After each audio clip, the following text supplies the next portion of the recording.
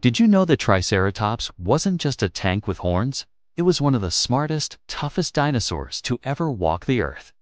Here's the real story behind the three-horned legend, and why even the T-Rex never underestimated it.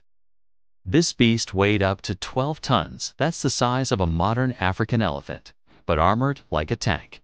And those giant horns. They weren't just for fighting predators, they were for flexing dominance, attracting mates, and communicating. Its huge bone shield, the frill, was a combination of armor and a visual display, like nature's billboard. Despite its heavy body, the Triceratops could charge at surprising speed. Imagine 12 tons sprinting towards you with spear-like horns. Fossil evidence shows they fought T-Rex often, with some bones even showing healed bite marks. It had one of the most advanced chewing systems of any dinosaur, and it was one of the very last dinosaurs alive before the asteroid hit. So, what dinosaur should I cover next? Comment below, most liked one wins.